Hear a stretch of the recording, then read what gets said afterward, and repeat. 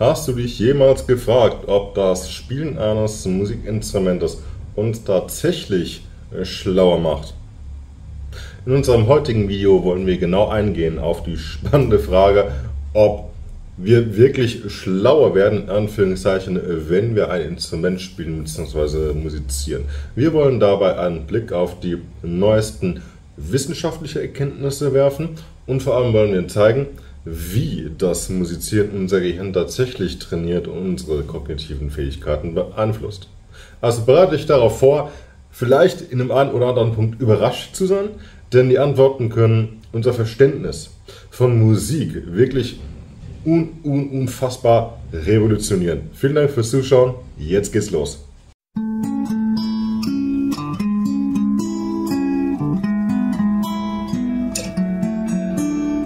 Bevor es gleich losgeht, stelle ich euch sehr, sehr gerne die E-Books der Mannheimer Gitarrenakademie vor.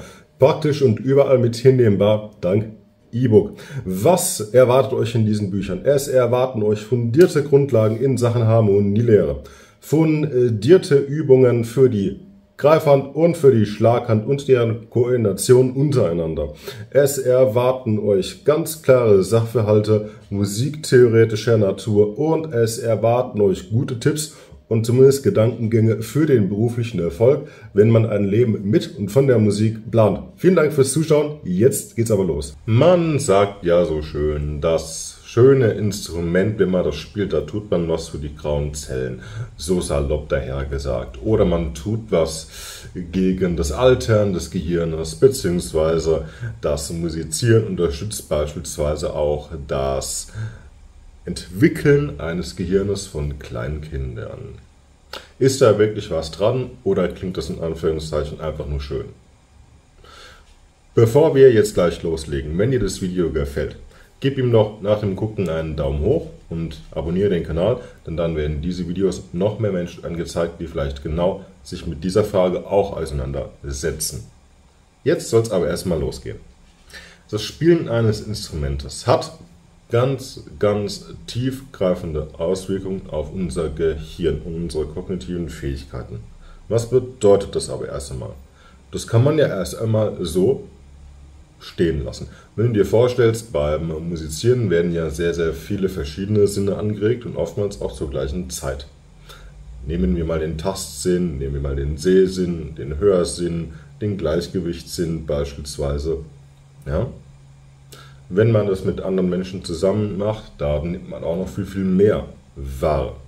Nun es gibt tatsächlich wissenschaftliche Studien, die belegen, dass das Musizieren zu einer verbesserten, aufgepasst, Gehirnstruktur und Funktion führt. Das Stichwort lautet neuronale Verbindungen. Ja, ja, wir denken da schon irgendwie so Gehirn, Nerven und so weiter, so ganz unfachmännisch mal gesagt. Neuronale Verbindungen. Was will ich damit sagen? Wenn wir ein Musikinstrument spielen, werden verschiedene Bereiche unseres Gehirns letzten Endes aktiviert und miteinander vernetzt. Das ist der Punkt. Das geschieht aufgrund der sogenannten Neuroplastizität. Ja? Neuroplastizität ist die Fähigkeit unseres Gehirnes, sich zu verändern und anzupassen. Also sowohl in der Funktion zu verändern, als auch tatsächlich strukturell zu verändern. Musizieren fördert die Bildung neuer neuronaler Verbindung und stärkt letzten Endes auch bestehende Netzwerke. Also Netzwerke bestehen aus verschiedenen Gehirnbereichen, ja, Gehirnregionen.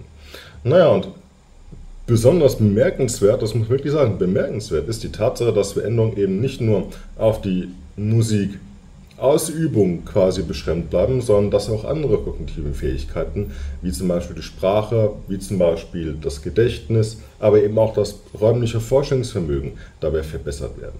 Neuronale Neubildung. Jetzt kommt es richtig geil.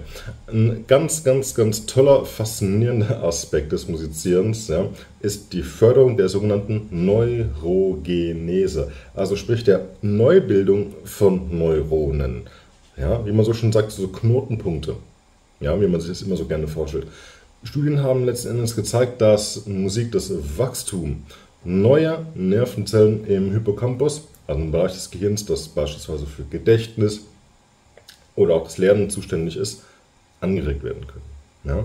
Und diese neuen Neuronen können letztendlich zu einer verbesserten kognitiven Flexibilität und Lernfähigkeit beitragen. Musik und Sprachzentrum. Was bedeutet das denn? Nun, das Musizieren letzten Endes hat auch einen ganz direkten Einfluss auf unser Sprachzentrum in unserem Gehirn. Ja?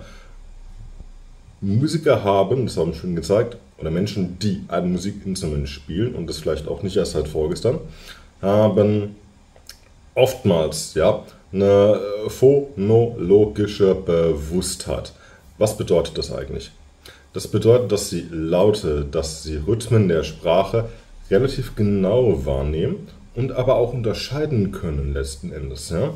Also genau diese Fähigkeiten sind es letzten Endes, die das Lernen beispielsweise neuer Sprachen erlernen, aber eben auch Kommunikationsfähigkeiten letzten Endes verbessern. Und, wir haben es ja schon irgendwo kurz anklingen lassen, beim Spielen eines Instrumentes werden eben nicht nur auditive, sondern eben auch motorische Fähigkeiten trainiert, visuelle Fähigkeiten trainiert. Und das führt letzten Endes zu einer unheimlich großen sensorischen Integration, aber auf ganz vielen verschiedenen Kanälen, ja, die das Gehirn dazu zwingt, gleichzeitig verschiedene Sinneseindrücke zu verarbeiten, aber eben auch dadurch trainiert werden. Ja.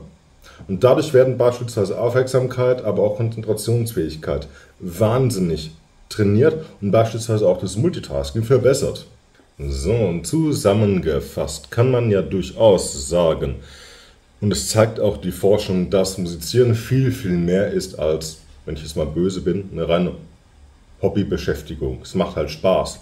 Das geht viel, viel mehr. Ja? Es geht viel mehr darüber hinaus als das reine, es macht halt Spaß. Selbst das ist ja schon gut, wenn man ein Hobby hat in Form von Musizieren.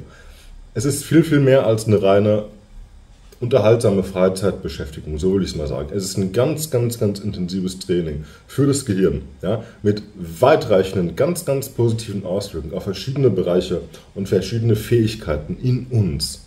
Also wenn du das nächste Mal ein Instrument in die Hand nimmst, mach dir bewusst, du trainierst viel, viel mehr, als du vielleicht dir im Augenblick oder vorher bewusst warst, bevor du dieses Video geguckt hast. Vielen Dank fürs Zuschauen und bis zum nächsten Mal. Viel Spaß beim Gehirntraining. Tschüss.